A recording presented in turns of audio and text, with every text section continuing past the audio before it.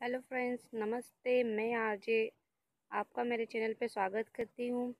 और आज जो मेरे आप हाथ में देख पा रहे हैं, वो आज़ादी के साल का पाव रुपया है।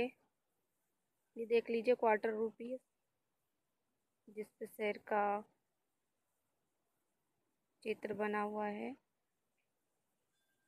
ये देख लीजिए। ये सिल्वर कॉइन है।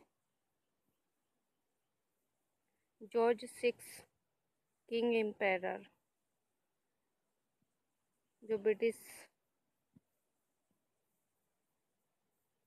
एम्पायर थे। जॉर्ज सिक्स उनके शासनकाल का है और 1947 में ही हमारा देश भी आज़ाद हुआ था। तो फ्रेंड्स, देख लीजिए, उस वक्त का जो कॉइन है वो कैसा रहा होगा? तो फ्रेंड्स आपको कैसा लगा ये कॉइन देखकर? अगर पसंद आया है तो कृपया मेरे चैनल को लाइक शेयर सब्सक्राइब करें, ताकि अगले वीडियोस में मैं इसी प्रकार का कलेक्शन ले, लेकर आऊँ।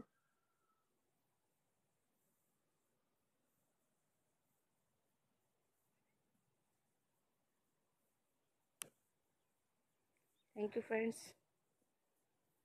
वीडियो देखने के लिए।